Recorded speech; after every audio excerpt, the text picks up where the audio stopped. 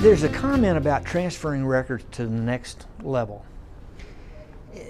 There's a lot of packing organizations that now trace cattle as part of their value added service from birth to market with these animals so people can be assured that they've been managed properly. If you happen to have vaccinated, we'll say a set of calves 14 days before you send them to the auction market with a vaccine that has a 21 day withdrawal, the people on the other end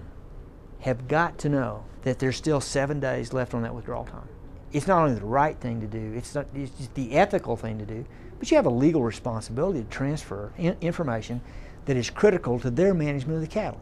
such that they would not sell something that would have a violative residue. Simple transfer the records if it has anything to do with the animal's quality uh, uh, or safety assurance on the other end.